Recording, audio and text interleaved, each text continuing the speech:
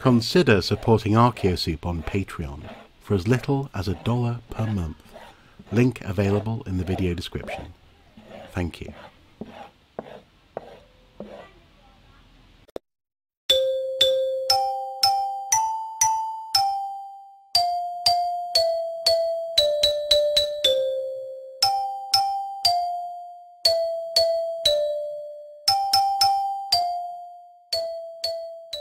Hello, welcome back to the A to Z of archaeology.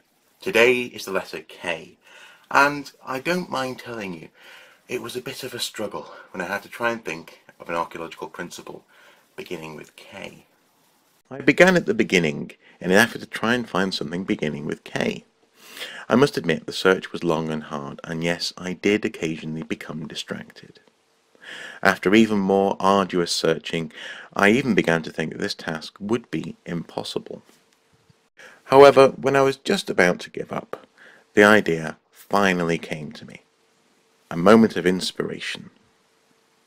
I did finally come up with something, remarkably, and that was potassium-argon dating. Now, I can hear some of you already wondering what has that got to do with K? Well, it's got to do with K because the chemical symbol for potassium is K. Or at the very least, according to my fridge magnet it is. So, potassium argon dating is actually very similar to carbon dating in as much as it takes advantage of the, uh, the change from an unstable element to a more stable element. The principle of potassium argon dating is very similar to that which we saw when we examined carbon dating inasmuch as it takes advantage of radioactive decay, the change of an often unstable element to a more stable and sometimes completely different element. In this instance, the radioactive element which we're utilizing is the, the unstable version of potassium, potassium-40, and its decay into the more stable gas, argon-40. Potassium-40's half-life is 1.3 billion years. Often, potassium-40 is erupted from volcanoes and is part of the pyroclastic material that is sent up into the atmosphere. It then cools and forms igneous rocks, and bit by bit, within those rocks, the gas of argon forms through radioactive decay. Knowing the half-life of potassium-40, we can then measure the argon gas in the rocks using a mass spectrometer and estimate the date when the rock was formed. The more argon gas present, the older the rock sample. In this way, the layer of volcanic material can be dated, and if archaeology is between two layers of volcanic material, we know that it must have been laid down between those two dates. Thankfully, much of the archaeology for early human beings is in areas which have been extremely volcanically active, and therefore these sandwiches often occur. So the great thing about this dating method is its scope. The amount of time that it covers is incredibly useful to archaeologists. The scope of potassium argon dating is between 5 million and 100,000 years ago, and this covers major events in our evolution. 5 million years ago, Ardipithecus ramidus was the first of our ancestors to walk upright. The different variations of the Australopithecines existed on this planet between 4 and 2 million years ago. Variations of the Paranthropus were in existence between 2 and 1 million years ago. Similarly, variations of the Kenyanthropus were in existence between 3.5 and 2 million years ago. But it is the Australopithecines to which we return, because it is from their line that we believe the first tool makers came, and some of these were called Homo habilis, or the handyman.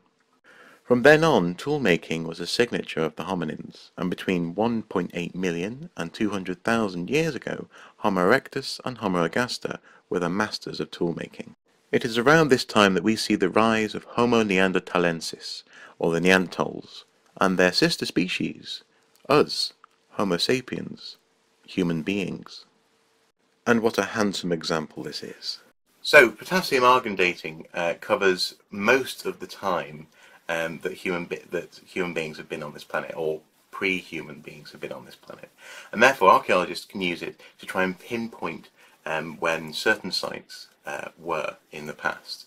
Um, there is a disadvantage, and that is that you do need to have um, hot volcanic material at the zero point. Uh, and this obviously can sometimes be a little bit dangerous for archaeology and the material that we're, we're hoping will be preserved.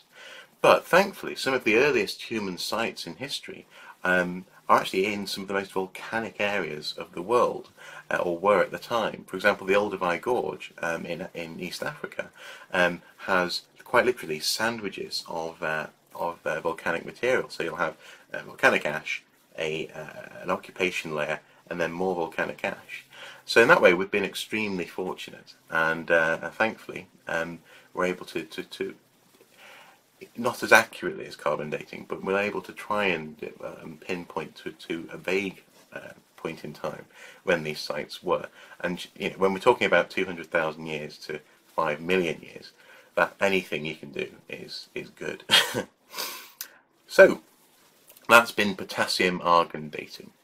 Hopefully you found this video useful and or interesting. Feel free to comment below uh, if you have or haven't in fact. Mm. If you have any questions all you need to do is message me and I shall get back to you as soon as I can.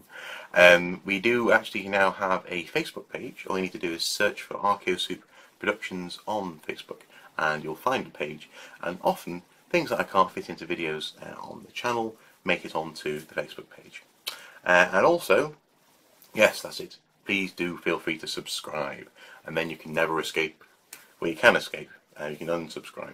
But you know you get the gist. So thank you very much